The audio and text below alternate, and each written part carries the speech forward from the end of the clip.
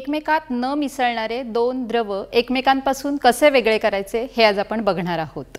दोन द्रव जेव्हा एकमेकात मिसळत नाहीत तेव्हा त्यांचे आपल्याला दोन वेगवेगळे थर दिसतात.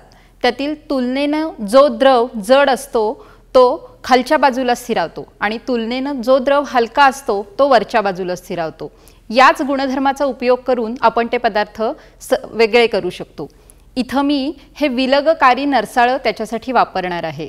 इथं मी तेल आणि पाणी यांचं मिश्रण घेतलेलं आहे. तेल आणि पाणी हे एकमेकात मिसळत नाहीत.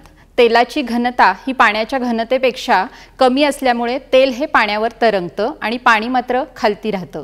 सुरुवातीला हे मी मिश्रण घेतलेलं आहे आणि ते काही काळ स्थिर ठेवलेलं आहे की ज्याच्यामुळं दोन थर वेगवेगळे होतील. नंतर ह्या विलगकारी नरसाळ्याचा स्टॉपकॉक मी उघडणार आहे आणि त्यातून पाणी बाजूला करता येईल.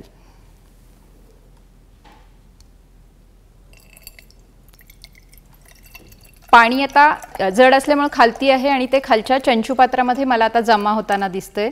जेव्हा पूर्ण पाणी बाजूला होईल तेव्हा मी हा स्टॉपकॉक बंद करणार आहे.